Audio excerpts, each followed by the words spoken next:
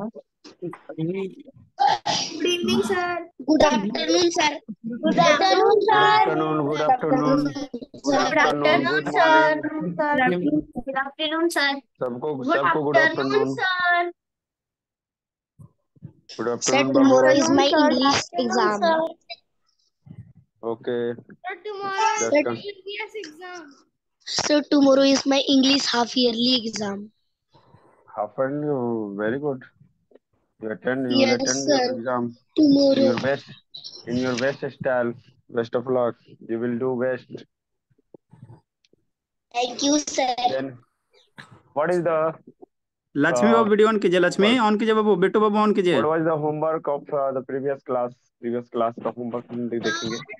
तो जो homework uh, बहुत सारे बच्चे ने आप uh, साइलेंटली आप अपना माइक को अभी बंद रखेंगे अभी जो बोलना है बोलने देंगे जो तो पिछले बार जो होमवर्क दिया गया था तो बहुत सारे बच्चे ने होमवर्क को सेंड किया, बहुत अच्छा। इसी प्रकार आप लोग इन रेगुलर वे होमवर्क को करें और होमवर्क को कर कर भेजें। इस तरह से आपका कंटिन्यूटी बना हुआ रहेगा। तो आपका जो कॉन्सेप्ट है वो क्लियर रहेगा। यदि जो बच्चे होमवर्क नहीं कर रहे, जो बच्चे होमवर्क नहीं कर रहे हैं, उनको मैं वार्निंग दे रहा हूँ कि वो भी होमवर्क करें, ठीक है? अदरवाइज़ यू विल बी ध्यान देंगे इस पर। तो सॉल्यूशन में सॉल्यूशन में देखेंगे बाबू जो हमारा दिया हुआ था क्वेश्चन पहला आइडेंटिफाई द फॉलोइंग सेंटेंसेस तो हाउ मेनी क्वेश्चंस हमको लगता है So, approx 15, no, 15 15. Questions Sir, 15. 50 Yes, sir, questions 15. I gave you मैंने दिया था देखेंगे three yes sir, I send you the homework, but you have not checked. You you sent me or not Sir, I sent. Excuse me, sir. yeah I have done homework, but I have not sent you. then you send uh, in the english uh, concept class group में No, sir, I, in I am not there in English group. I am not there. you, you are not added Yes, sir. Okay तो नाम बताइए sir देख रहे हैं sir आपको add कर देंगे Good Tanu afternoon, sir. Okay good afternoon Tanu का ऐड कर दिया जाए इंग्लिश क्लास ग्रुप में। सर मेरे को भी कर दीजिए मेरे मैं भी नहीं ग्रुप में। चलिए मेरे को में वन टू फिफ्टीन में बाबू लोग गुड आफ्टरनून बाबू यहाँ देखेंगे। तो फिफ्टीन क्वेश्चन का सॉल्यूशन यहाँ दे रहे हैं फिर आगे हम लोग चलेंगे। है ना नेक्स्ट टॉपिक की ओर। तो यहाँ सॉल्यूशन में बाबू पहला दिया हुआ था may the president live long यहाँ पर दिया हुआ है। हमारा ये जो ब्लेस होता है ब्लेस को हम क्या कहते हैं? ऑप्टेटिव सेंटेंस में कहते हैं। तो यहाँ ऑप्टेटिव सेंटेंस पहला सही था। ठीक है? हमने बहुत सारे बच्चों को कुछ चेक करके भी दिया है। बहुत सारे बच्चों का राइटिंग भी बहुत पुअर था। So you are advise to improve your writing hand writing kindly do this kindly do this जो दिया हुआ है बाबू काइंडली और रिक्वेस्ट कर रहा है। रिक्वेस्ट वाले जो सेंटेंस होते हैं वो किसके होते हैं? इम्परेटिव के होते हैं। चलिए थैंक यू थर्ड नंबर में the teacher is teaching normally ये स्टेटमेंट है तो टीचिंग पढ़ा रहे हैं। हाँ तो ये नॉर्मली तो ये यहाँ असर्टिव और इसे आप डिक्लेरेटिव सेंटेंस भी कह सकते हैं।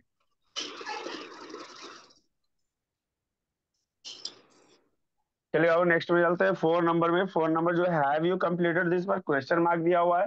तो ये क्वेश्चन किया जा रहा है? इंक्वायरी किया जा रहा है? तो हमारा ये क्वेश्चन सेंटेंस या इंटरोगेटिव सेंटेंस दोनों सही है।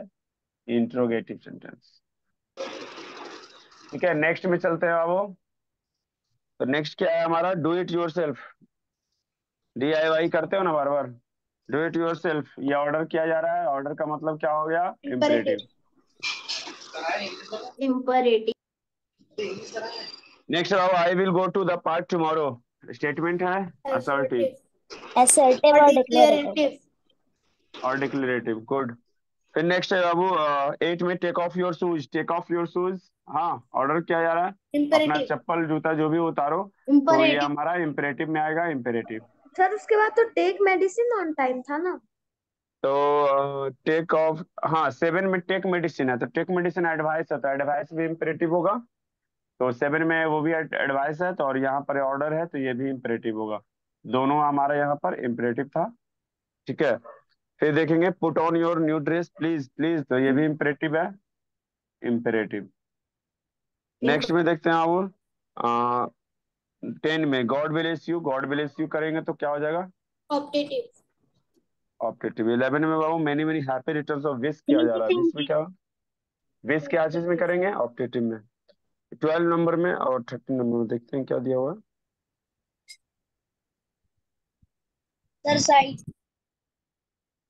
साइड पुअर दिया हुआ the poor should not be insulted the poor should not be insulted statement दिया जा रहा है में बाबू। बहुत सारे बच्चे इसमें लिख दिए थे गलत। The poor should not be insulted assertive है। ठीक है? थर्टीन में डू इट एट वंस इसे अभी करो। यहाँ पर ये इम्परेटिव है। थर्टीन नंबर इम्परेटिव और फिर देखते हैं यहाँ पर क्या है आगे। नेक्स्ट में फोर्टीन नंबर में we don't know him negative में है तो नेगेटिव किसमें आता है? असर्टिव में? Have a nice day have a nice day optative sentence last में दिया गया ऑप्टेटिव सेंटेंस सी ऑफ़ किया जा रहा है. विदाई के सेंस में.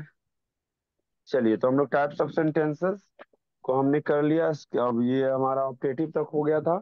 अब जो हमारा जो बच रहा है वो फाइव नंबर जो बच रहा है वो एक्सक्लामेटरी सेंटेंस के बारे में डिस्कस करना है। ठीक है? तो आज हम लोग हम्म तो आज हम लोग एक्सक्लामेटरी सेंटेंस के बारे में एक्सक्लामेटरी सेंटेंस के बारे में डिस्कस करेंगे। चलिए देखते हैं एक्सक्लामेटरी सेंटेंस में क्या होता है। जिस प्रकार हमने बताया कि ऑप्टेटिव देख ले, मिला लेंगे बाबू, सब लोग मिला लेंगे। ऑप्टेटिव सेंटेंस और इम्परेटिव सेंटेंस में उसके मूड्स को देखे थे, उसके सेंस को देखे थे कि किस प्रकार उसके सेंस को देख करके हम उसको ऑप्टेटिव और इम्परेटिव में हाँ इजी वे में हम फाइंड कर सकते हैं आइडेंटिफाई कर सकते हैं। न्यू तो नेक्स्ट जो नेक्स्ट लेवल जो हमारा है, वो नेक्स्ट लेवल एक्सक्लामेटरी सेंटेंस है। We go ahead to exclamatory sentence exclamatory sentence में भी कुछ ऐसे सडन फीलिंग्स होंगे स्ट्रॉन्ग फीलिंग्स होंगे, जिसके बारे में इमोशंस होंगे, जिसके बारे में यहाँ पर चर्चा किया जाएगा। कुछ एक्सक्लामेटरी सेंटेंस में ऐसा होता है कि हम लोग अचानक से कुछ बोल बोल पाते हैं, जब बहुत ज़्यादा दुख होता है या बहुत ज़्यादा खुश होते हैं या हमें पछतावा होता है। ठीक है? तो सडन फीलिंग्स उससे जैसे बोलते हैं इमोशन से जुड़े जुड़े होते हैं। वे सारे sudden and strong sudden and strong feelings के बारे में यहाँ पर चर्चा करेंगे। तो वे एक्सक्लामेटरी सेंटेंस में आएँगे। तो चलते हैं हम लोग आज का हेडिंग देंगे एक्सक्लामेटरी सेंटेंस सर मैं अभी ग्रुप में एडेड नहीं हूँ।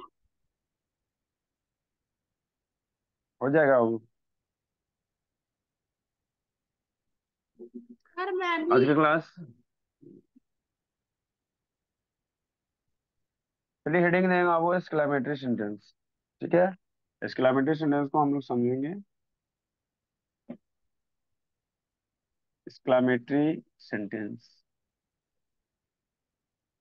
एक्सक्लामेटरी सेंटेंस जो पढ़ रहे हैं आप तो हम लोग पार्ट्स ऑफ़ स्पीच में एक चीज़ पढ़ते हैं इंटरजेक्शन ध्यान देना वो एक्सक्लामेटरी सेंटेंस और, ठीक है? एक पढ़ते हैं इंटरजेक्शन तो यहाँ ध्यान देंगे। इंटरजेक्शन और ये एक्सक्लामेटरी सेंटेंस में कुछ ज़्यादा फ़र्क नहीं होता है, जो फ़र्क होता है आपको दिख जाएगा। एक्सक्लामेटरी सेंटेंस का यदि अर्थ पूछा जाए तो एक्सक्लामेटरी सेंटेंस का मतलब होता है विस्म आदि बोधक वाक्य। विस्म आदि बोधक वाक्य। विस्मय विस्मय का मतलब अचानक कुछ हो जाए। विस्मय यानी अचानक कोई कार्य हो, कोई काम हो, है ना? तो सेंटेंस में एक्सक्लामेटरी सेंटेंस में माना जाता है। तो एक्सक्लामेटरी सेंटेंस का यदि बात किया जाए तो सर बताए विस्मय।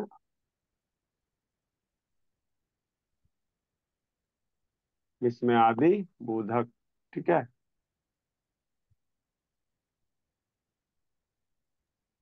ज्योति बाबू वीडियो ऑन कीजिए राजंशी का कौन है? वन है कि टू है जी?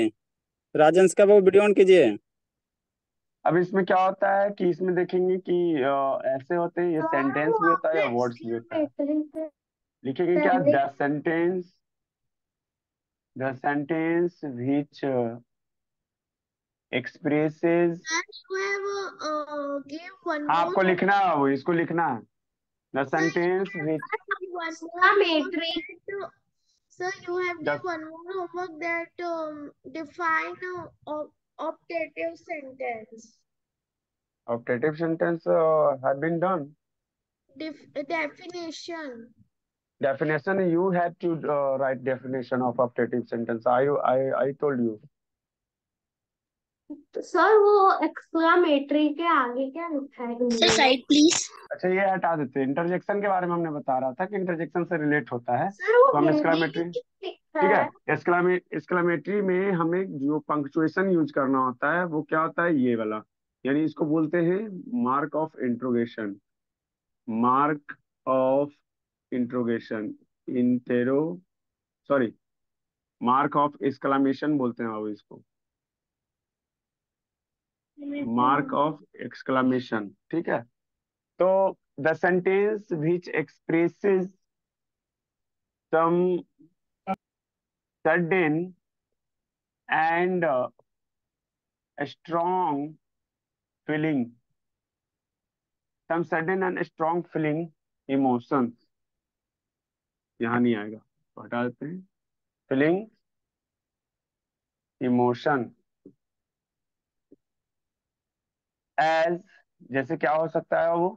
तो यहाँ देखेंगे यदि जैसे जॉय हैप्पीनेस बहुत ज़्यादा खुशी है।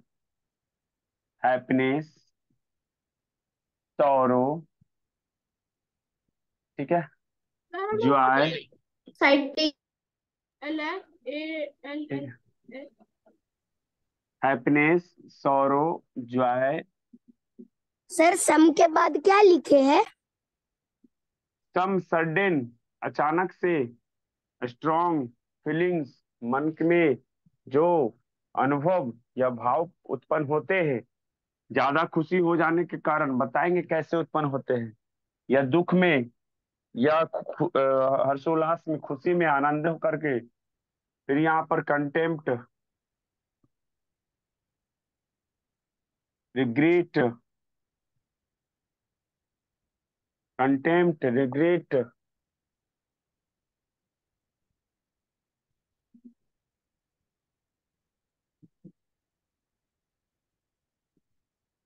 ठीक है? कंटेम्प्ट का मतलब यहाँ के बाद क्या सौरव बाबू दुख का sir what is the meaning of इसे जैसे ग्रीफ बोलते हैं ग्रीफ आप समझते होंगे दुख में शोक में। है ना?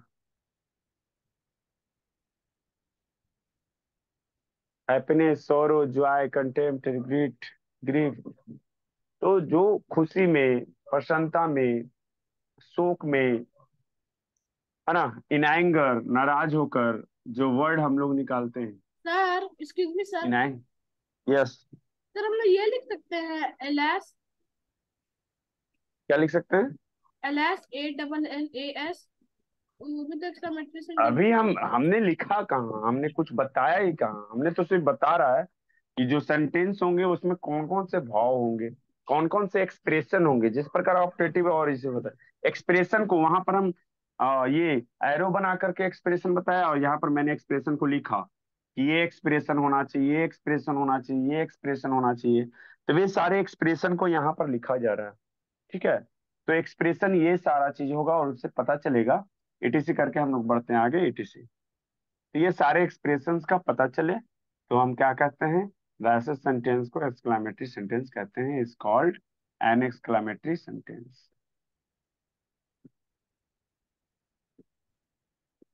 अब एक्सक्लामेटरी सेंटेंस दो तरह से हमें अब बताएँगे आपको कि एक्सक्लामेटरी सेंटेंस को दो तरह से देख सकते हैं। जो एक्सक्लामेटरी सेंटेंस होंगे, उसको हम दो तरह से देख पाएँगे। ठीक है? एक्सक्लामेटरी हाँ दो, दो तरह से एक्सक्लामेटरी हम देखेंगे यहाँ पर। वो क्या देखेंगे? जैसे यहाँ एक होता है वर्ड एक्सक्लामेटरी वर्ड्स हो गया और एक पूरे सेंटेंस ये सेंटेंस हो गया। एक्सक्लामेटरी वर्ड्स और एक्सक्लामेटरी सेंटेंस तो कैसे रहेंगे? दोनों एक्सक्लामेटरी सेंटेंस कहलाता है। तो रहेंगे कैसे? तो देखें क्या कुछ कुछ वर्ड्स आएँगे जैसे बाबू लोग बोल रहे थे हुर्रा ब्रेवो ब्रेवो ज्योति बाबू गुनगुन वीडियो ऑन कीजिए उत्कर्ष शैतान। उत्कर्ष उड़ीसा बाबू वीडियो ऑन कीजिए Utkarsh Orissa. Sir yahoo five five on कीजिए लव बाबू ऑन कीजिए। सब बंद के लिए रहता है। ठीक है इस प्रकार के वर्ड्स जो आ रहे हैं वो एक्सक्लेमेटरी वर्ड्स वाओ वाओ वाह। सब आएगा बाबू सब आएगा अभी लिखाएँगे।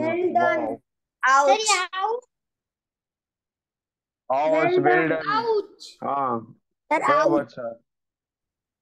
ठीक है ये सभी जो अचानक से जब कोई मतलब अचानक से चोट लग जाए तो मुँह से निकल जाएगा आउच है ना कोई अच्छा काम किया यदि हम लोग क्रिकेट देख रहे हैं और यदि प्लेयर सिक्स मार दिया तो वाह हुर्रे खुशी से। वाह हुर्रे बहुत सारा कुछ निकालते हैं। ओह क्या बोलते हैं? ओह फिर क्या बोलते हैं? आह वेल डन ठीक है इस पर इस प्रकार के वर्ड्स। ठीक है चलो वेलडम बोल रहे हैं Well बाबू well done sir yahoo yahoo. वो भी हो जाएगा। ये ouch sir ouch sir op हाँ ऑप्स भी हो ये ओ, ओ, ऑप्स भी होता है। चलिए बहुत सारे एक्सक्लेमेटरी वर्ड्स हैं वे सारे लिस्ट में दे दिए जाएँगे। सेंटेंस में देखिए ये एक्सक्लेमेटरी वर्ड्स जो रहेंगे तो तुरंत मार्क ऑफ़ एक्सक्लेमेशन इसके साथ ही रहेगा। इससे देखिए अल्लाह से तो ये दुख को शो कर रहा है। हुर्रा यानी अल्लाह से क्या पता चल रहा है? सोरो या गिरिफ पता चल रहा है। हुर्रा क्या पता चल रहा है कि ये हैप्पीनेस या जॉय को बोध कर रहा है। ब्रेवो बहुत अच्छा काम किया यानी प्रेस इसको यहाँ क्या कह सकते हैं? प्रेस वर्दी तो प्रशंसन प्रशंसनीय काम किया ब्रैब blur हाँ कंटेम्प्ट वाला काम देखो यदि घिरना है तो फीफी जिसको छीछी बोलते हैं ना फीफी यहाँ दिया हुआ फाई फाई बोलते हैं। वाओ बहुत अच्छा सरप्राइज़ यहाँ पर और क्या है देखो बहुत सारे आ रहे हैं। सरप्राइज़ तो सरप्राइज़ देने के लिए प्रेज करने के लिए ये सारे जो वर्ड्स यूज़ किए जा रहे हैं वो एक्सक्लेमेटरी वेल डन बढ़ाया जा रहा है। है ना उसके इंकरेजमेंट के लिए याहू इस पर बहुत खुशी बोल रहे हैं। सेंटेंस में जब ये स्टार्ट होता है बाबू तो व्हाट और हाउ का प्रयोग किया जाता है। व्हाट और हाउ का प्रयोग किया जाता है जब हम इसे सेंटेंस में स्टार्ट करते हैं। तो सेंटेंस में जब स्टार्ट करेंगे तो ये आ, कैसे स्टार्ट होते हैं? तो ये ऐसे लिखा जाता है कि जब हम कोई सेंटेंस बनाएँगे कितना सुंदर हाँ यहाँ जो आता है। papa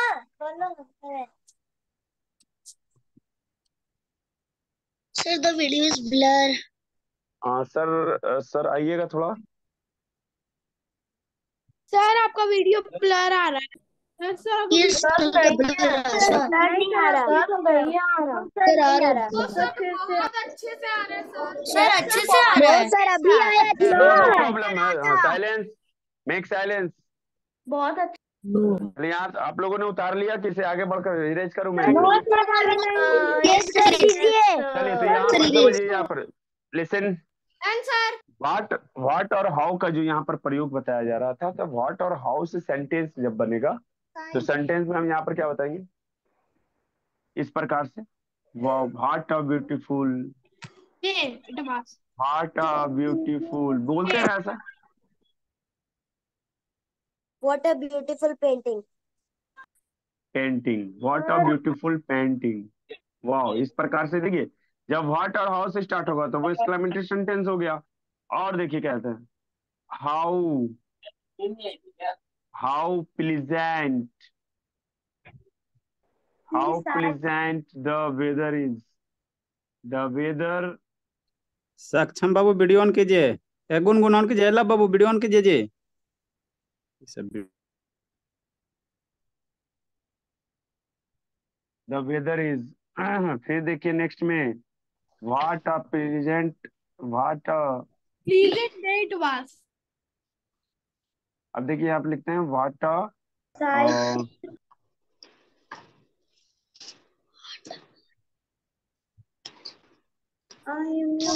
sir what a very nice car. What a great idea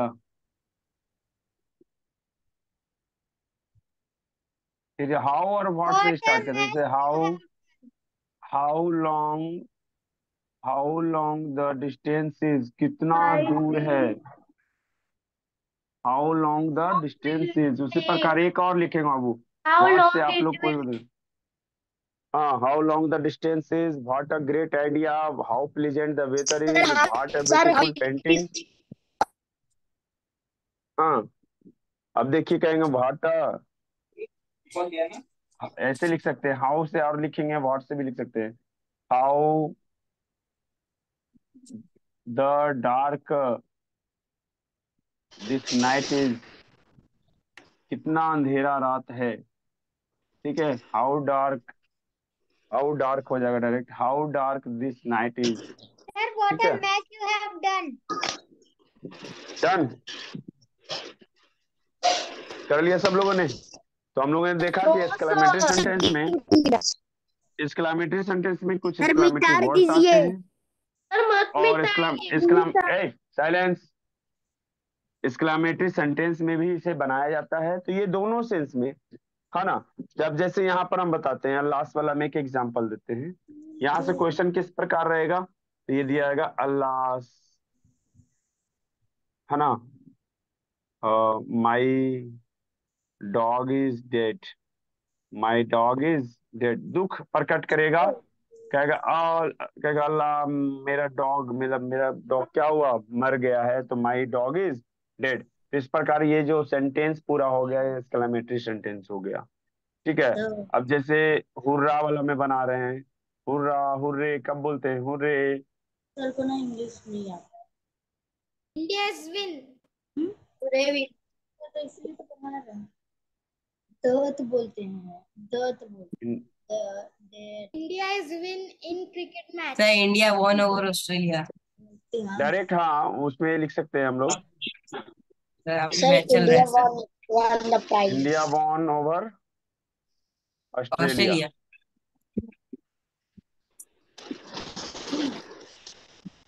चलिए इस प्रकार का सेंटेंस नीचे ही लिखना है।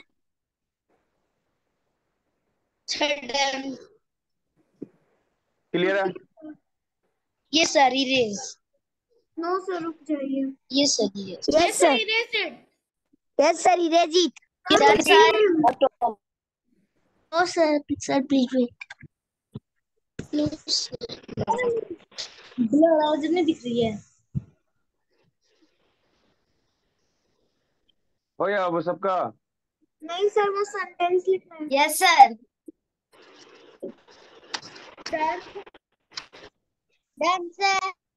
भगवान नीचे रख में लिखती हूँ। हमें देखा?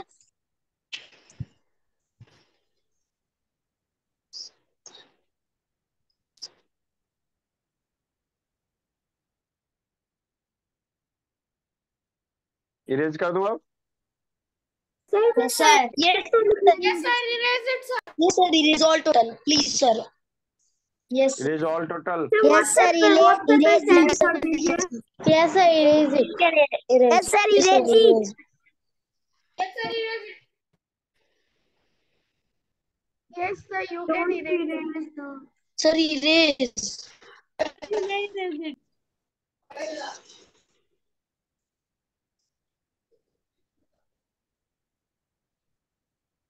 हमने एक्सक्लेमेटरी सेंटेंस को देखा कि इसमें जो फीलिंग्स होते हैं वे कौन कौन से फीलिंग्स होते हैं?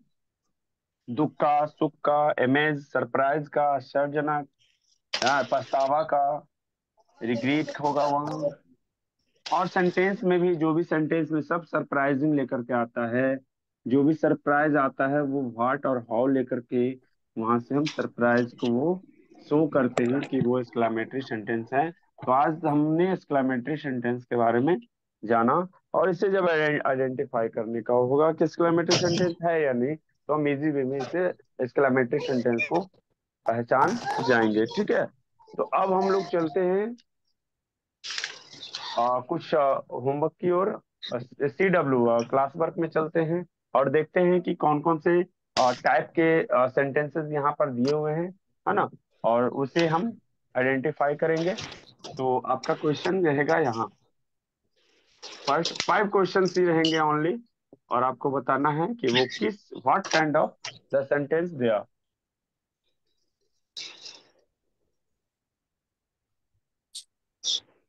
So we have to write this. Yeah, you have to write. Pick up the phone.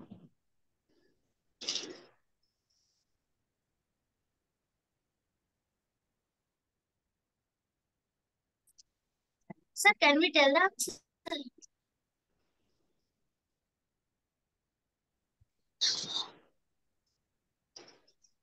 Sir, sir, can we tell them? Sir, Sir, you have written identify. Okay.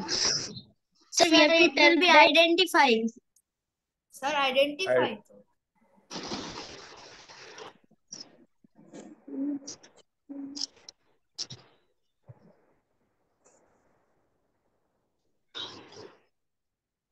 Side. Sir, will we write only the answers or copy the, ans- the questions and answer? you have to write an answer with questions Sir, वो land में लिखे. Sir, what is the meaning of L L E and land?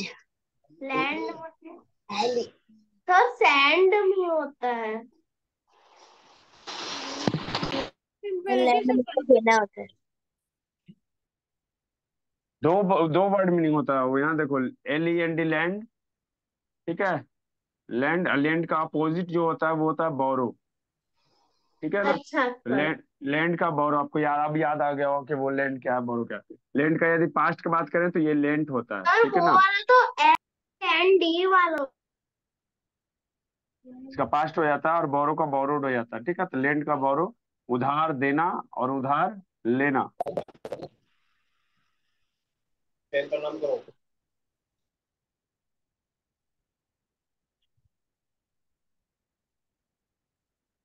Land में सुधार देना और बोरो में सुधार ले लेंड एल से देना और बोरो मिस लेना। अब ये यहाँ पर लगा दो उधार। ये हो गया उधार देना और ये हो गया उधार लेना।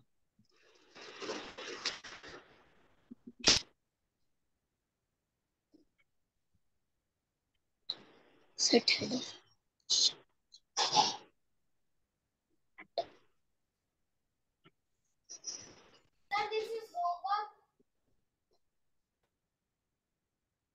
क्लास हेडिंग दिख रहा हेडिंग दिख रहा है वो heading no sir no sir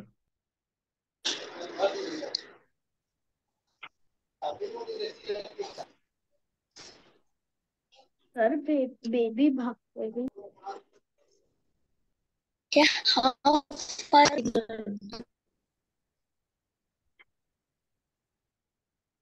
Slightly.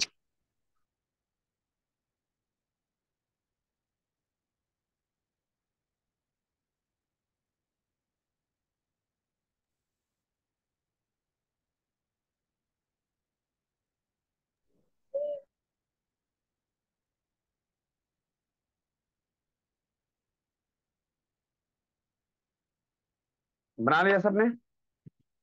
All have done haven't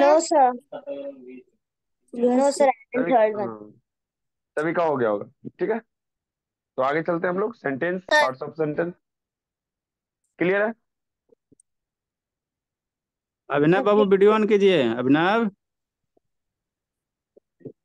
ए अभिनव बाबू ऑन कीजिए। गुनगुन बाबू ऑन कीजिए। बेबी के बाद संस लिखे हैं।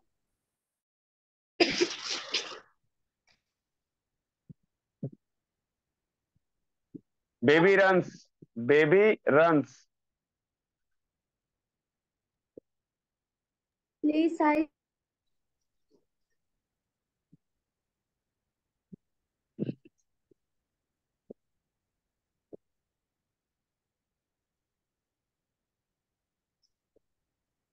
चलिए बाबू? Yes. Pickup pickup the phone क्या बनाए होंगे आप लोग imperative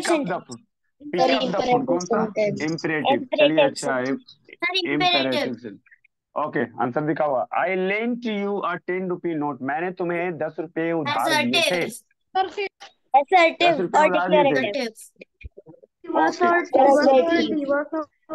Next how fast her baby exclamatory इतना तेज दौड़ता है। ठीक है? तो ये एक्सक्लेमेटरी नेक्स्ट है well done you have done this my boy लिख. सकते थे वहाँ exclamatory. Maybe- Exclamatory. एक्सक्लेमेटरी ये है welcome to you all exclamatory. Sir, exclamatory. ठीक है Hope that. ठीक है याद है are correct. कॉन्ग्रेचुलेशन याद है कॉन्ग्रेचुलेशन किसमें थे? हैप्पी एनिवर्सरी याद है? Many many happy returns of the day याद है? यस सर उसी प्रकार welcome and you welcome and welcome to all sir it is all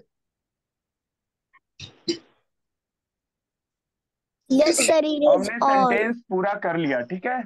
We have finished the tense parts of the tense and also we have finished the parts of the sentence and the kinds of the sentences types of the sentences तो identify अब आराम से कर सकते हैं और कभी भी टेंस और वॉइस नरेशन जो अब हम पढ़ेंगे तो उन सभी में वॉइस में नरेशन में in voice and narration there are different types of uh, structures to make uh, transformation from active to passive and the narration direct speech to indirect speech these, these, they all are uh, type of transformation so that the chapter transformation includes uh, removal of two uh, voice active to passive narration direct uh, to indirect speech and so on इस प्रकार further जो भी आगे रहेंगे तो वो सब transformation में आते हैं tense is related to tense तो टेंस से रिलेटेड जो भी स्ट्रक्चर है we all have learn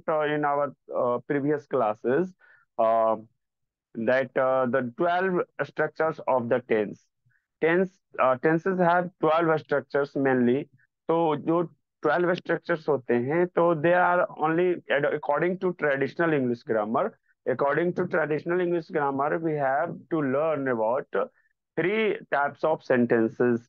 And uh, in uh, in the future, we have to learn about the modern English grammar. According to modern English grammar, we have to learn uh, there are only two types of sentences. Uh, they are present tense or past tense.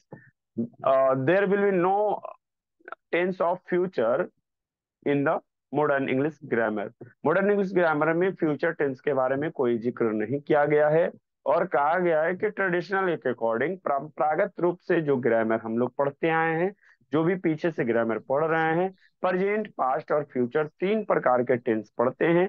लेकिन according to on the basis of verb forms यदि verb forms के आधार पर बात किया जाए, क्रिया के जो रूप हैं वी नो डेट कि there are five forms of verbs in English grammar English grammar में फाइव फॉर्म्स ऑफ़ वर्ब्स होते हैं, हम लोग पहले से जानते हैं। वो कौन कौन से हैं? V one form V two V three V four and V five so on तो इसी प्रकार जो हम देखेंगे आज के डेट में तो सेंटेंस हमने कंप्लीट कर लिया। तो आगे का जो भी चैप्टर है जो भी टॉपिक है हम लोग इजी वे में हाँ इजी वे में कवर करेंगे। तो इसके पहले आज हम लोग एक नया टॉपिक ले रहे हैं स्टार्ट कर रहे हैं। तो सेंटेंस का टॉपिक तो चला अच्छा से होमवर्क मिला ने बहुत अच्छा किया। कुछ बच्चे थोड़ा हैं लेकिन सभी बच्चे अच्छे हैं। काम इस प्रकार करें और होमवर्क समय पर बनाकर है ना ग्रुप में सेंड करें। जिन बच्चों ने आ, को इंग्लिश कॉन्सेप्ट क्लास के ग्रुप में नहीं ऐड हुए हैं वे बच्चे सर को बोलेंगे और सर आपको ऐड कर देंगे। ठीक है? तो आज आ, हम लोग चलते हैं नए चैप्टर की ओर और, और आज का जो सिलेबस हमने लिखाया था सेंटेंस के बाद जो आपको पढ़ाया जाएगा वो था पार्ट्स ऑफ़ या या बाबू पार्ट्स ऑफ़ स्पीच। तो यहाँ पर ध्यान देना बाबू यहाँ पर जो आपको लेवल चलेगा है ना class three to class three to class eight. Class three to class eight का लेवल है और class nine to class tenth. तो यहाँ पार्ट्स ऑफ़ स्पीच जब भी स्टार्ट करेंगे कि the grammar English grammar half of English grammar is done with the parts of speech. Parts of speech यदि हम लोगों ने पढ़ लिया और अच्छे से पार्ट्स ऑफ़ स्पीच को यदि जिस प्रकार हम सभी सेंटेंस को पहचानने को ले जान गए कैसे हम उसको रिकॉग्नाइज कर सकते हैं इजी वे में आइडेंटिफाई करते हैं उसी प्रकार पार्ट्स ऑफ़ स्पीच के कोई भी सेंटेंस किसी भी सब्जेक्ट में बहुत सारे सेंटेंसेस होते हैं और हर एक सेंटेंस में प्रत्येक word each word has its own meaning and they belongs to parts of a speech जितने सारे वर्ड्स होंगे the words in english english language include all the words in english language are classified into eight groups according to their work or function each group of called parts of a speech तो parts of speech में वैसे words होते हैं क्योंकि जो भाषा है हमारा वो अंग्रेज़ी भाषा अंग्रेज़ी भाषा में जितने सारे शब्द हैं जितने सारे वर्ड्स हैं, सभी वर्ड्स का अपना अपना कोई काम होता है।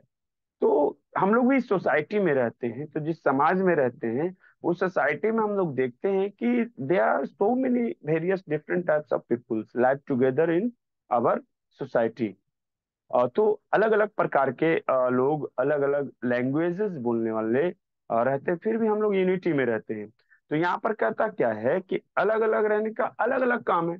कोई व्यक्ति है जो बैंक में काम कर रहे हैं तो कोई आ, क्या बोलता है उसे कोई पुलिस स्टेशन में काम कर रहे हैं कोई पोस्ट ऑफ़िस का काम कर रहा है कोई इलेक्ट्रिशियन है कोई इंजीनियर है कोई प्लम्बर है हाँ तो कोई इस प्रकार से सबका काम हाँ सबका काम अलग अलग होता है हाँ। डॉक्टर है। एडवोकेट है तो लेकिन रह रहे क्या? एक ही जगह रह करके एक दूसरे का काम करते रहते क्या है साथ में? सिमिलरली सेंटेंस में सभी वर्ड्स एक साथ रहते हैं। सेंटेंस में सभी वर्ड्स एक साथ रहते हैं और एक साथ रहने के साथ साथ हम लोग इजी वे में उसको बता सकते हैं कि कौन सा पार्ट्स ऑफ़ स्पीच से वो वर्ड बिलोंग करता है। जैसे नॉन से प्रोनाउन से एडजेक्टिव से एडवर्ब से वर्ब से प्रीपोजिशन कंजक्शन और इंटरजेक्शन किस किस पार्ट्स ऑफ़ स्पीच से वो बिलोंग करता है वो आसानी से हम लोग पहचान पाते हैं। तो आइए चलते हैं आज हम लोग पार्ट्स ऑफ़ स्पीच की ओर। तो हम लोग हेडिंग देंगे पार्ट्स ऑफ़ स्पीच तो स्पीच यानी कि जो हम लैंग्वेज पढ़ते हैं तो यहाँ लैंग्वेज का बात किया जा रहा है कि जो लैंग्वेज पढ़ते हैं उस भाषा में बिट्टू बाबू ऑन कीजिए बिट्टू। क्या बोलेंगे? भाषा।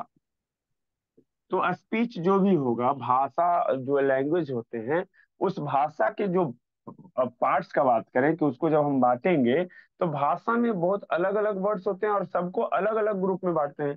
तो उसी ग्रुप को जो बांटते हैं तो इसे पार्ट्स ऑफ़ स्पीच कह देते हैं कि भाषा में अलग अलग शब्दों का प्रयोग किया गया और सभी अलग अलग कैटेगरी से बिलोंग करेंगे। तो अलग अलग कैटेगरी से बिलोंग करेंगे तो जो जिस कैटेगरी का है, उसको उस कैटेगरी में रखेंगे और उसके काम के अनुसार हम लोग बांट देते हैं। तो पार्ट्स ऑफ़ स्पीच में आएँगे क्या? तो हम लोग बोलते हैं कि there are eight parts of speech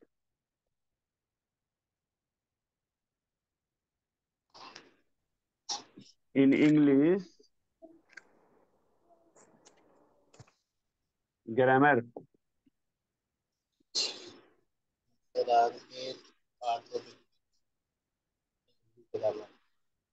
How does clear? वो अब यहाँ पर देखिए क्या लिखते हैं क्या कि पार्ट्स ऑफ़ स्पीच को डिफाइन कैसे करेंगे तो डिफाइन कैसे करेंगे वो इसको एट ग्रुप्स में कैसे बांट देते हैं? तो हम क्या कहते हैं कि in English in English, all the words are classified are classified into eight groups. According to according to their work or function in the sentence sentence में वो किस प्रकार का काम कर रहा है, वो उसके काम के अनुसार हम आठ ग्रुप में बांटते हैं। तो प्रत्येक एक ग्रुप जो होता है, उसमें जितने ग्रुप में बांटेंगे तो कितने ग्रुप में बांटेंगे? एट पार्ट्स में। तो प्रत्येक ग्रुप को each part is called parts of speech parts. Sir, we have to write these. Yes, you have to write first. Sir, wait, please. Sir, please wait. You have done? No, sir. No, sir. Not. No, sir, not. You write very fast. Yes, sir. You writing very fast. I don't write very fast. You write very fast. Very no, sir, please side to eight groups. Done, sir. They are non. Sir, adjective, pronoun, adjective, adjective, adverbs, adverb verb verb verb verb preposition sir preposition conjunction conjunction distributive adjective sir distributive adjective Ashutosh Babu on adjective. के कीजिए Utkarsh. On करो जी Shweta Soloni video on कीजिए गुनगुन बाबू verb because verb is depend upon the interjection. Interjection का चर्चा तो हम पहले ही किए थे। एक्सक्लेमेटरी सेंटेंस पढ़ा रहा था तुम्हें। इंटरजेक्शन आप लोग जान सकते हैं इसका हिंदी मतलब जानना चाहेंगे तो वो भी आप जान सकते हैं हिंदी व्याकरण। हिंदी व्याकरण पढ़ते होंगे। संज्ञा तो देखते होंगे संज्ञा। सर्वनाम। सर्वनाम। क्रिया। एडजेक्टिव को बोलते हैं विशेषण। आप लोग नहीं बोलेंगे बाबू आप लोग नहीं बोलेंगे। कीप साइलेंस विशेषण। जब मैं पूछूँगा तभी। साइड प्लीज़ साइड हूँ बाबू। एडवर्ब है क्रिया विशेषण।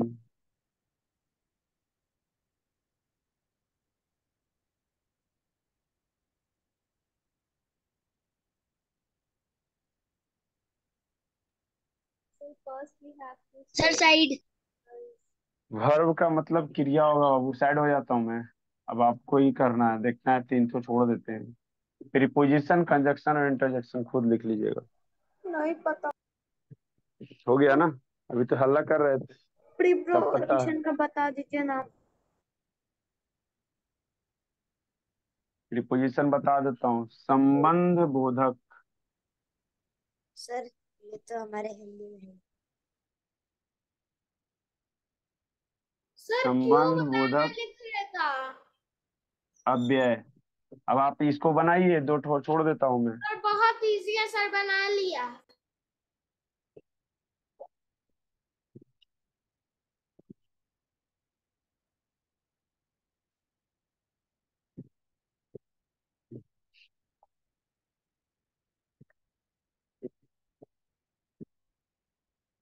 Have you done wait sir one minute sir please wait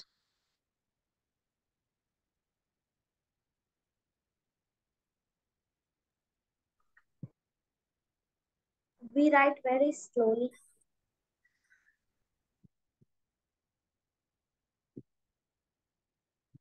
Raj Hansika Rajhansika Utkarsh क्या कर no ten after ten minutes you may go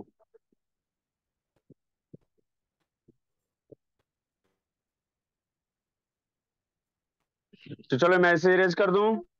Can I erase no sir no sir no sir please please please please no sir no sir please no sir please आप लोग यहाँ पर होंगे है ना?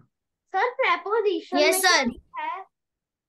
Preposition preposition संबंध बोधक अव्यय ओ वो या या।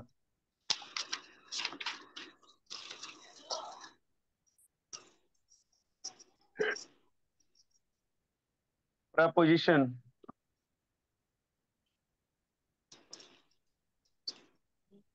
हम्म। हाँ। है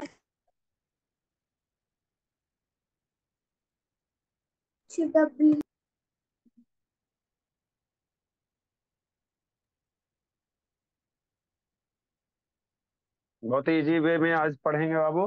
तो पार्ट्स ऑफ़ स्पीच के बारे में जाने।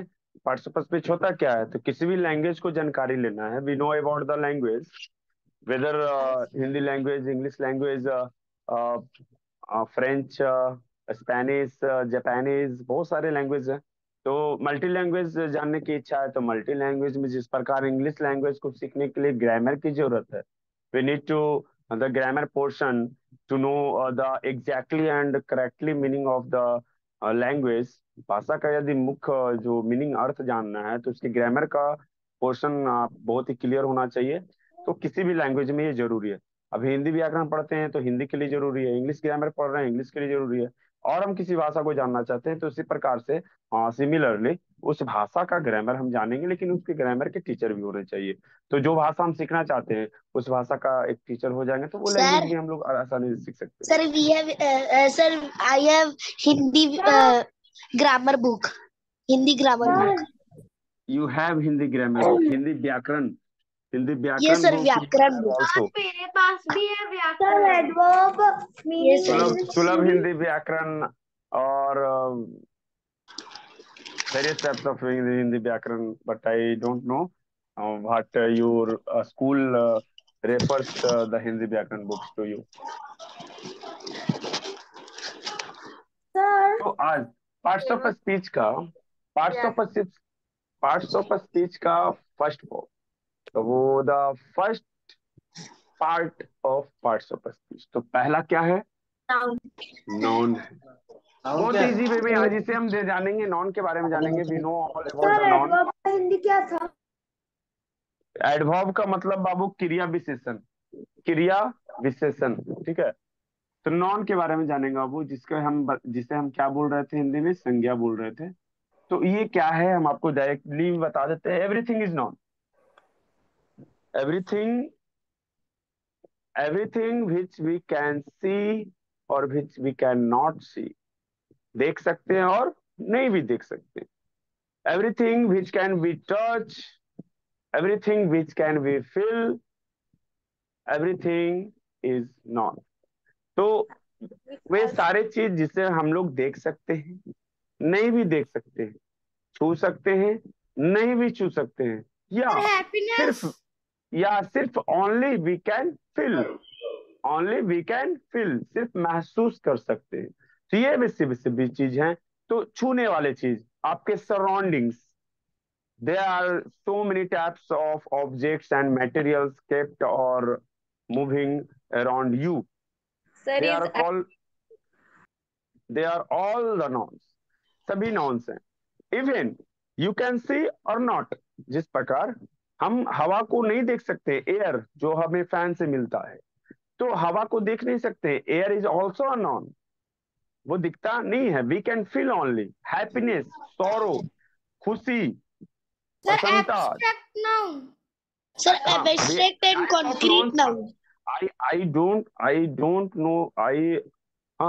talk about the types of noun only the definition of noun सिर्फ़ नॉन के बारे में चर्चा हो रही है, अभी टैप्स में नहीं जाएँगे बाबू। तो नॉन एवरीथिंग इज़ नॉन तो इस बस, इस संसार में जो भी चीज़ है, जो भी चीज़ है, वे सारे नॉन है। तो ऐसे डेफिनेशन सिंपल सा जो डेफिनेशन होता है, ये इस प्रकार से लिखते हैं। नॉन होता क्या है? A noun is the name of, a noun is the name of, क्या चीज़ का नाम होगा बाबू? वो एक नाम होगा। क्या चीज़ का? Person place people place animal and thing a person place animal thing person place thing thing emotions और आइडियाज़ विचारों को। ये कोई पर्सन प्लेस एनिमल वस्तु यही भाव जो भाववाचक संज्ञा हम लोग बोलते हैं आइडियाज़ जो हम लोग सोचते हैं विचारते हैं वे सभी चीज़ को नॉन का दर्जा दिया गया है। तो हम देखेंगे यहाँ पर कि वे सारे नॉन्स कैसे हैं। एग्ज़ाम्पल का बात करें तो आप जो कुछ भी बोलिएगा तो यहाँ पर जो भी दिखेगा पेन फायर. एयर देखिए यहाँ फायर एयर फायर को देख सकते हैं। फायर को देख सकते हैं तो फायर दिखता है आग को देख सकते हैं लेकिन इसे फील कैसे किया जा सकता है? फायर एक ऐसा चीज़ है जिसे हम देख भी सकते हैं और फील भी कर सकते हैं। तो फील कैसे कब करेंगे कि ये फायर है? फायर को देख सकते हैं लेकिन फील कब करेंगे? जब उसको करेंगे उसको हाँ।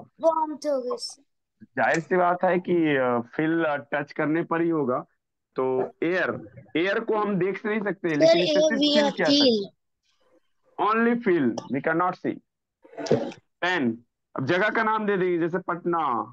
कोई मनुष्य का नाम दे दिए सर गुजरात। जगह से गुजरात। सर राम। अब कोई व्यक्ति का। नाम दे देते हैं व्यक्ति का नाम दे देते हैं बाबू। जैसे Mohan sir Mohan Aman sir Rudra Rudra Mohandas Karamchand Gandhi. Sir postman ये इतना बड़ा नाम दे दिए ये पूरा सर नाम फायर फाइटर तुम्हारा। अब ये फाइटर दे रहे है तो फाइटर भी आपका। Sir fighter silence. Das Modi postman ठीक है। नरेंद्र दामोदर दास मोदी नरेंद्र मोदी कोई भी नाम रहे। नरेंद्र दामोदर दास मोदी ठीक है कोई भी एनिमल वर्ड सारा नाउन है एटीसी क्लियर ये तो सब लिख लेंगे बाबू। इसके अलावा हम लोग कह सकते हैं।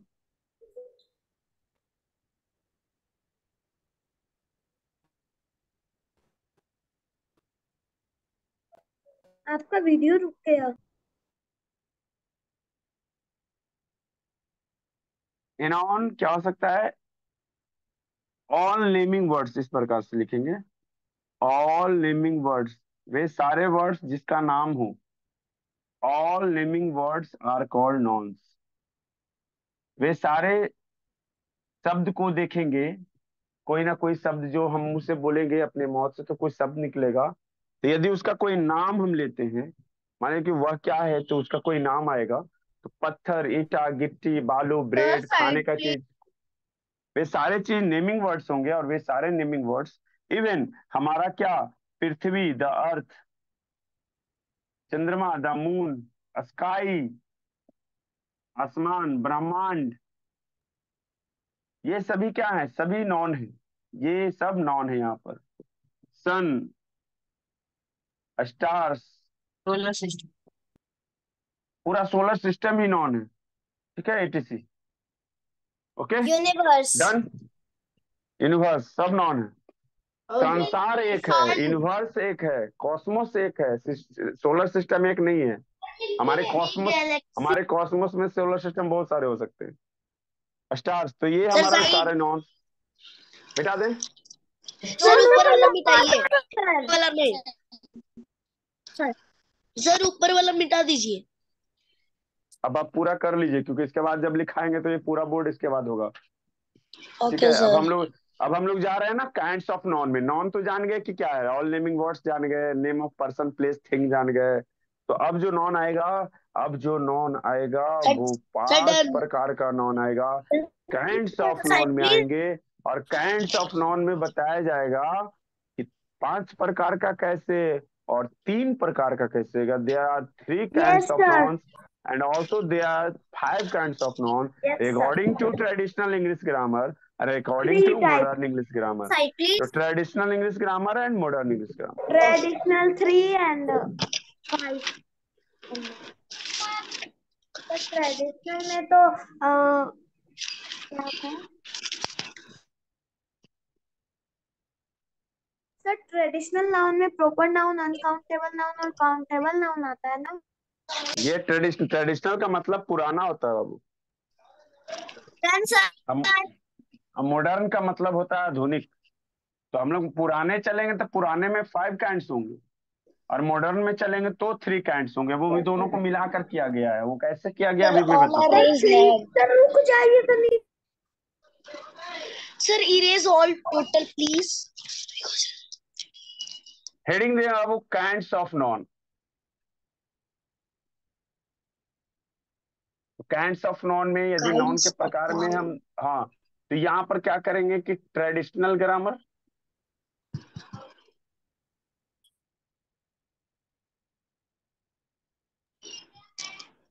और एक मॉडर्न ग्रामर ठीक है यहाँ पर ट्रेडिशनल इंग्लिश ग्रामर लिखना होगा. और यहाँ मॉडर्न इंग्लिश ग्रामर लिखना होगा.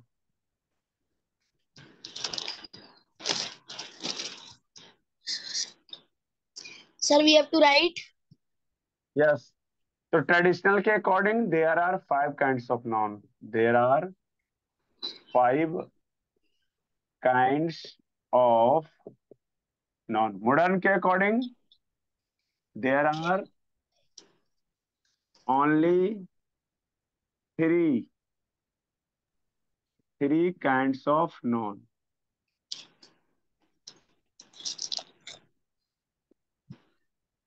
तो कैसे ये दोनों को मिलने से बनता है? यहाँ पर देखिए कैसे हम ट्रेडिशनल को ही हम इसमें बदले हैं तो कैसे होता है ये देखते हैं।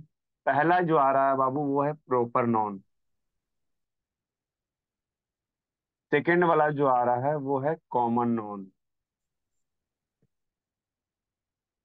थर्ड वाला जो आ रहा है बाबू उसको कलेक्टिव नॉन कहते हैं। फोर्थ वाला जो आ रहा है इसको हम एब्स्ट्रैक्ट नॉन बोलते हैं। और फिफ्थ वाला जो आएगा बाबू उसको बोलेंगे सर कॉन्क्रीट कॉन्क्रीट या material noun sir concrete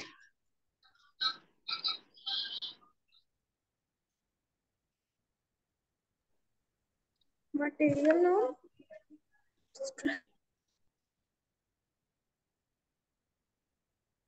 ये क्या लिखे कॉन्क्रीट काउंटेबल और अनकाउंटेबल ना। अभी बन रहा है तुरंत? ये आपने लिख लिया? Yes sir no yes sir erase sir done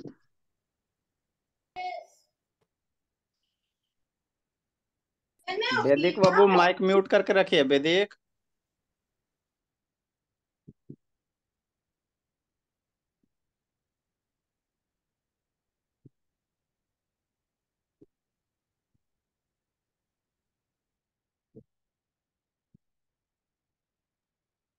सक्षम वीडियो ऑन कीजिए बाबू। श्वेता बाबू, ऑन कीजिए।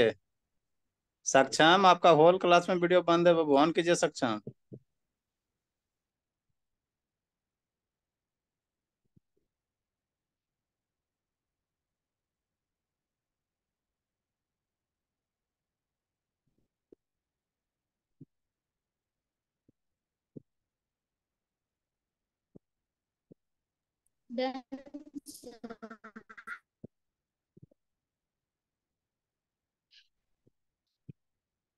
वह है कॉन्क्रीट नॉन ये जो नॉन आ रहा है मेटेरियल नॉन हम बोलते हैं ना तो मेटेरियल नॉन और कॉन्क्रीट नॉन कॉन्क्रीट नॉन वैसे नॉन हो सकते हैं।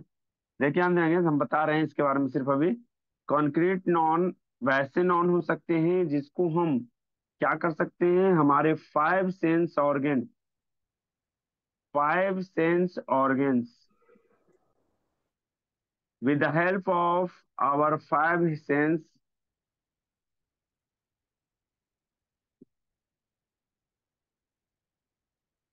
with the help of five sense organs तो हमारा फाइव सेंस ऑर्गन्स कौन कौन सा होगा? जानते हो? Nose nose eyes skin tongue और बताओ।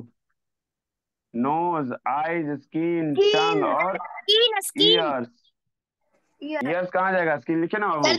तो ये five sense organ five sense organ से नोज़ से क्या करेंगे? स्मेल ध्यान देना वो आइज़ से क्या करेंगे? सी स्किन से क्या करेंगे? फील टंग से क्या करेंगे? टेस्ट ईयर से क्या करेंगे? हियर और लिसन अब कहता है कि वैसे नॉन को हम कंक्रीट नॉन कह सकते हैं। वैसे नॉन को कंक्रीट नॉन कहा जा सकता है। तो वो कंक्रीट नॉन किसे कहेंगे? तो जिस वैसे नॉन जिसे हम स्मेल कर सकते हैं। सी देख सकते हैं। फील महसूस कर सकते हैं। एयर वगैरह। टेस्ट जिसका हम स्वाद ले सकते हैं या जिसे हम सुन सकते हैं। तो हमारे फाइव सेंस ऑर्गन्स के द्वारा किसी में से भी एक प्रॉपर्टी में उस नॉन में पाया जाता है कि उसे हम या तो सूंघ सकते हैं देख सकते हैं फील कर सकते हैं टेस्ट कर सकते हैं या सुन सकते हैं। तो हाँ इन सभी में से किसी न किसी प्रॉपर्टी में वो गुण उस नॉन में पाया जाएगा तो वो कंक्रीट नॉन कहलाएगा। और बाकी हम जब देखते हैं मेटेरियल नॉन एब्स्ट्रैक्ट नॉन सब देखेंगे। ये हो गया होगा बाबू। तो three only three kind of noun में देखेंगे। तो ट्रेडिशनल हो या मॉडर्न हो प्रॉपर नॉन को प्रॉपर नॉन में ही रखा गया है। तो यहाँ ये भी प्रॉपर नॉन ही रहेगा। तो प्रॉपर नॉन को कोई बदलाव नहीं किया गया। बल्कि यहाँ देखेंगे कॉमन नॉन और कलेक्टिव नॉन कॉमन नॉन और कलेक्टिव नॉन ये दोनों नॉन को मिला दिया गया। और कहा गया कि कॉमन नॉन और कलेक्टिव नॉन दोनों को हम गिन सकते हैं। इसलिए इसे काउंटेबल नॉन कहा गया। काउंटेबल नॉन्स कहा गया। अब जो भी नॉन कॉमन नॉन में आएगा या कलेक्टिव नॉन में आएगा, उसे हम काउंटेबल काउंटेबल नॉन कहेंगे। जैसे हिंदी में बात करें तो गणनीय संज्ञा कहते हैं कि जिसे हम गिन सकते हैं। वैसा संज्ञा जिसको हम संख्या में गिन सकते हैं, संख्या में गिनने वाले नॉन को हम गणनीय काउंटेबल नॉन में रखेंगे। अब यहाँ एब्स्ट्रैक्ट नॉन और मेटेरियल नॉन जो बच रहा है बाबू तो एब्स्ट्रैक्ट नॉन और मेटेरियल नॉन जो होता है वो नॉन यदि मिला दिया जाए तो एब्स्ट्रैक्ट नॉन और मेटेरियल ये हम मिटाएँगे बाबू ये तो हो गया होगा आप लोग का। ये हो। गया ना?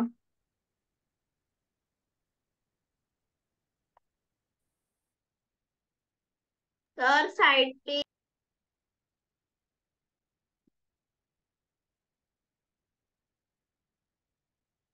अब यहाँ जो बचा बाबू यहाँ देखते हैं कि एब्स्ट्रैक्ट नॉन जो है और मैटेरियल नॉन जो है तो एब्स्ट्रैक्ट नॉन एब्स्ट्रैक्ट नॉन और मेटेरियल नॉन दोनों को यदि हम मिला दिया जाए तो दोनों को मिक्सअप करके हम अनकाउंटेबल नॉन को देख सकते हैं। ये अनकाउंटेबल नॉन हो जाएँगे। ये गिन नहीं सकते इसलिए इसको बोलेंगे अगणनीय संज्ञा।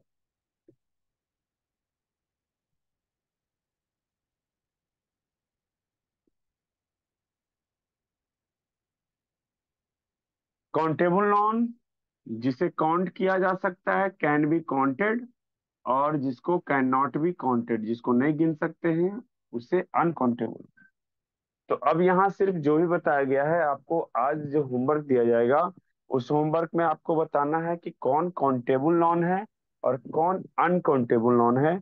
आज के यस सर पर हम मटेरियल नाउन को तो काउंट कर सकते हैं. मटेरियल नॉन को काउंट कर सकते हैं। कैसे बाबू मटेरियल नॉन का बताओ सर कुछ भी।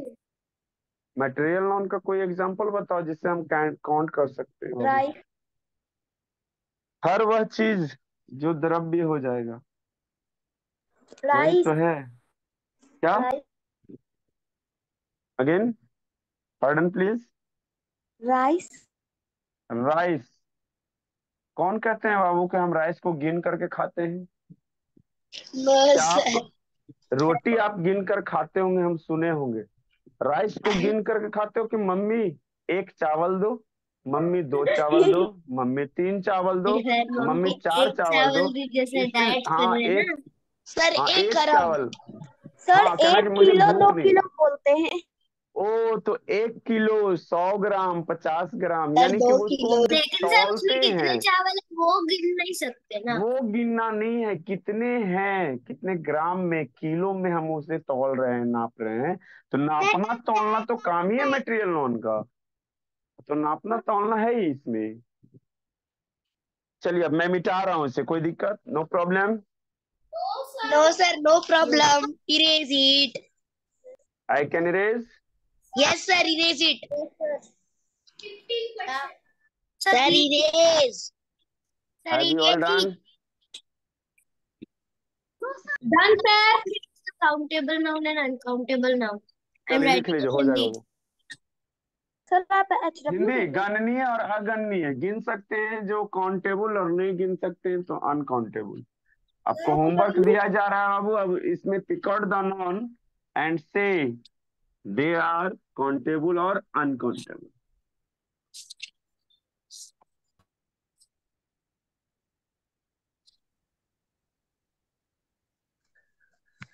me.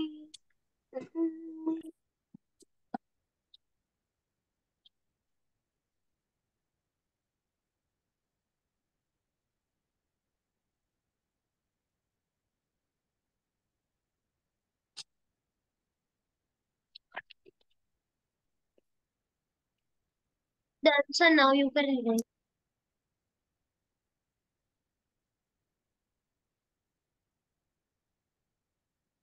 This is the homework. या Sir, how much sentences? Twenty Sir, sentences नहीं देगा वो सेंटेंसेस नहीं देगा ओनली हम नॉन लिखेंगे और उसको बताना है कि काउंटेबल है क्या अनकाउंटेबल अब कोई बोलेंगे नहीं बाबू इसलिए ट्वेंटी दे रहे हैं। सेंटेंस नहीं है।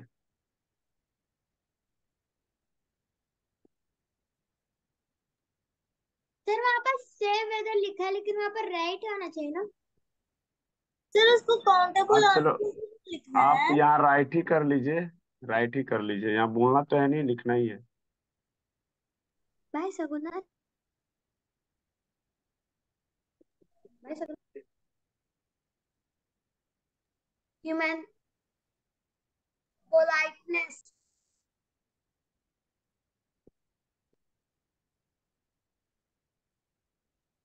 tea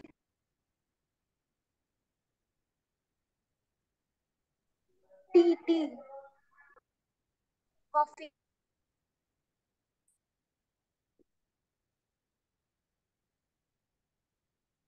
clever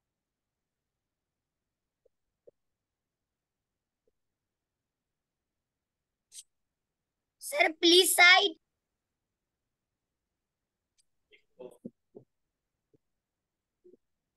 sir in the second number it's written gold gold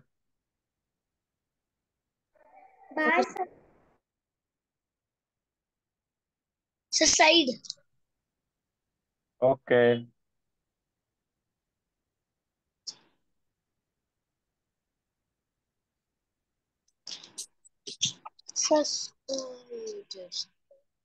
sir bitterness का मतलब खट्टापन होता है क्या?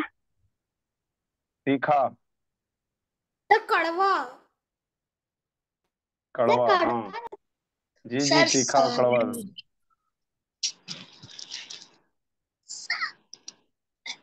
सर साइड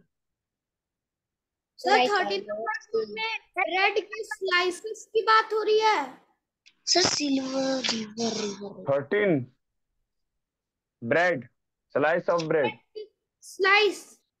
जी ऐसे भी whether bread is uncountable noun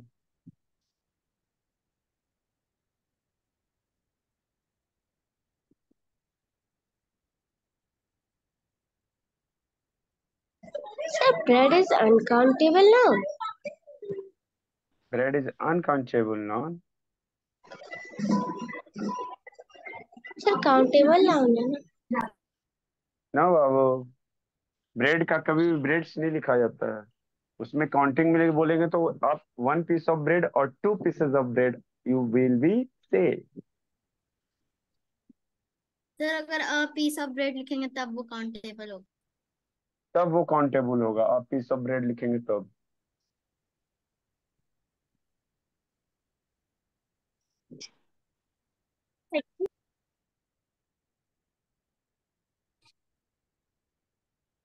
okay आप लोग इतना बना के आइएगा ठीक है? That solve Babu?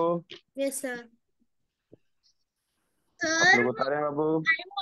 Sir I am not on that concept group yes बोलिए बोलिए। Tell me I am not in English group you you will you will be added by the by your sir okay bye sir sir Good day, okay bye goodbye sir. Bye, sir. Bye, sir. रुको ना भाई sir.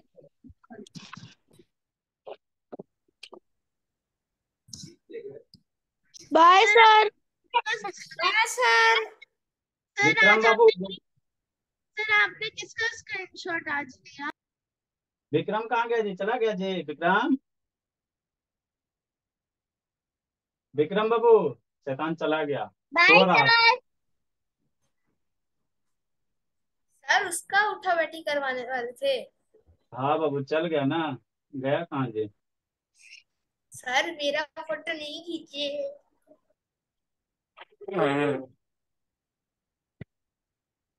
आपका homework group में भेज दिए बाबू। Sir मेरे को आपके ग्रुप में ऐड कर देंगे?